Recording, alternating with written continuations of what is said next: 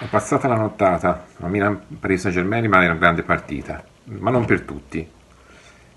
Intanto scopriamo il nuovo ruolo di Ibrahimovic nel Milan. Tutto questo dopo la sigla.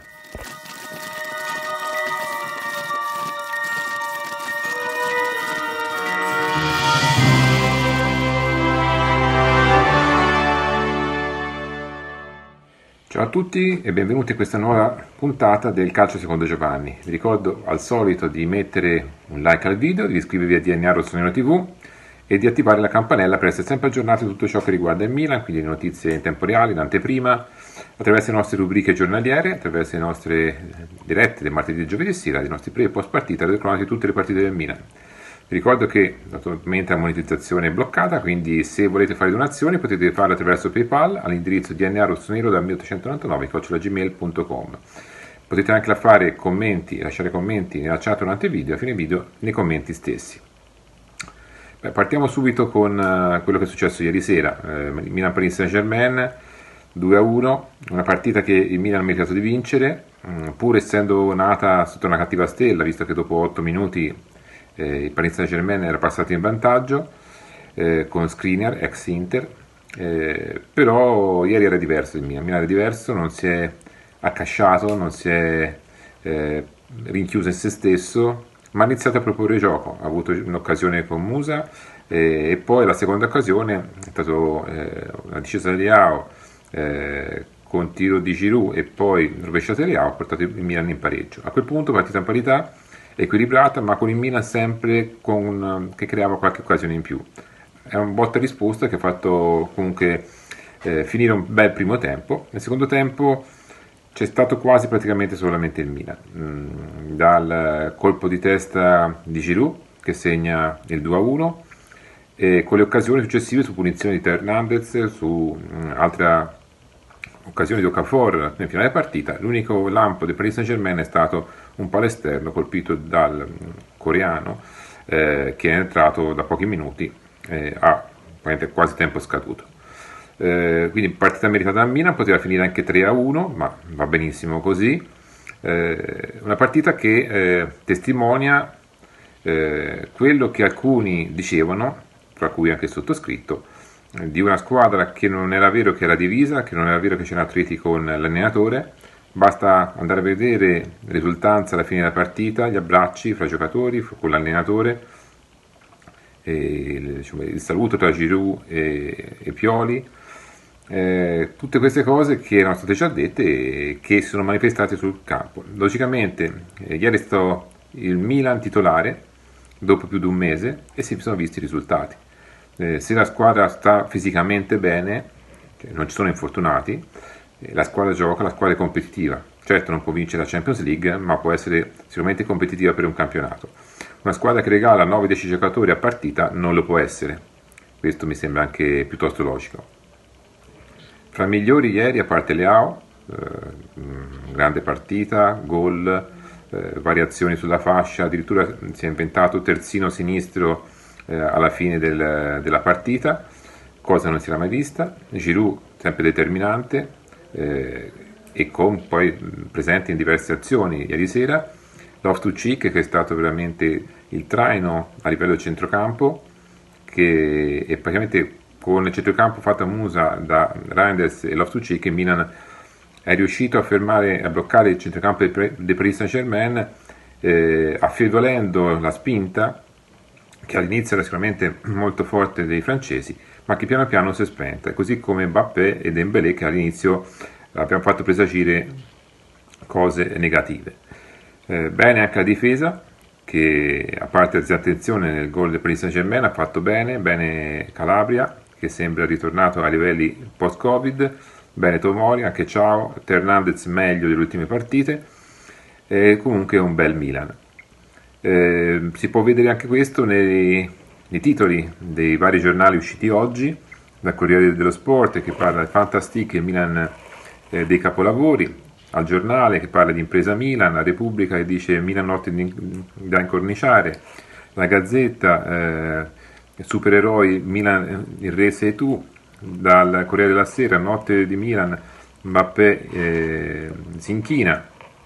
tutto sport per Milan, si va anche su giornali francesi, di Figaro, che fanno elogio a San Siro, dicendo che San Siro è impressionante, che atmosfera, abbiamo le vertigini, tribune infiammate tutta la partita, che meraviglia. Detto anche a Mappé e Musa che dice, sono rimasti frastornati dal rumore che, che c'era ieri sera allo stadio, dal tifo che c'era allo stadio. Eh, non tutti però logicamente, non poteva essere altrimenti, eh, fanno elogio al Milan, perché c'è sempre qualcuno che deve obiettare. Parlo di Ruio e parlo di liberoquotidiano.it, eh, Ruio in cui si prende a pretesto una frase che ha detto, una dichiarazione che ha fatto Pioli nel post partita, dicendo che alcune volte eh, può essere più diciamo, quello che il risultato, un confronto fra giocatori, più che quello che l'allenatore può dire. È una testimonianza, una dichiarazione realista, umile anche, eh, di chi sa cosa vuol dire essere allenatori, sa cosa vuol dire svolgere il mestiere dell'allenatore. Alcune volte è più importante un confronto fra giocatori, perché sono loro che vanno in campo, sono loro che devono assistersi, uno, aiutarsi uno con gli altri, piuttosto che un allenatore che dia mh, delle indicazioni che potrebbero anche perdersi nel vuoto se non c'è compattezza di squadra, se non c'è eh, connessione tra un giocatore e l'altro. Ebbene, per questo Ruglio dice dice che Pioli ascolta la squadra e ritrova il suo Milan senza eh, l'aiuto di Ibrahimovic. Libro quotidiano.it invece va più avanti ancora dicendo che eh, quel titolo Milan chiuso nello spogliatoio senza Stefano Pioli. Eh, brutte voci prima di eh, Paris Saint Germain Milan. Eh, se si vuole fare sempre gli articoli, eh, diciamo mettendo zizzania, mh, mm, continuate pure sinceramente eh, fino a, a, ieri il Milan era la squadra a buttare, il Milan avrebbe perso il campionato, avrebbe perso la Champions, era una squadra con tantissimi difetti, con un mercato da negativo, eppure tutti voi della stampa e anche tutti voi tifosi avete dato i voti da 7,5 a 9 al mercato del Milan, quindi o i giornalisti non capiscono nulla, o i tifosi non capiscono nulla, o forse è un periodo che forse non andava tanto bene eh, niente. Eh, quindi un pochino anche di umiltà a riconoscere eh, i meriti di giocatori, di allenatori, quando è il momento, perché è giusto anche accusare Pioli se fanno degli errori. Mm, sono stati fatti degli errori, ricordiamoci la sostituzione di Adri con Krunic in Milan-Juve, eh, il derby con un modulo di gioco sbagliato, ma bisogna anche fare i plausi quando le cose vengono fatte bene, perché sennò è troppo facile dire brava la squadra quando la squadra vince e male Pioli se la squadra perde. No, perché se uno ha delle colpe al momento della sconfitta, anche dei meriti quando la squadra vince. Eh, ieri 75.000, più di 75.000 spettatori a San Siro esaurito, tanto per cambiare, con un incasso che è stato che è il settimo di tutti i tempi, con oltre 7 miliardi e 700 milioni, 7 milioni e 700 mila scusate, euro. E anche a livello di, eh,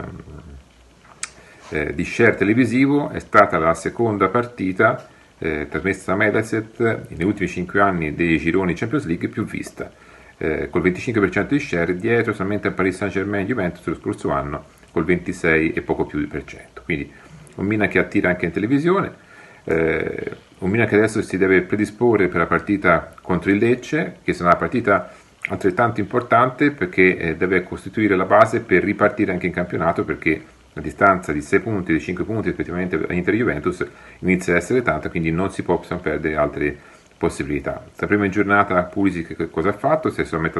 un crampo oppure un ennesimo problema muscolare, anche perché la zona, quanto dice Pioli, è la stessa dell'infortunio precedente, speriamo di no.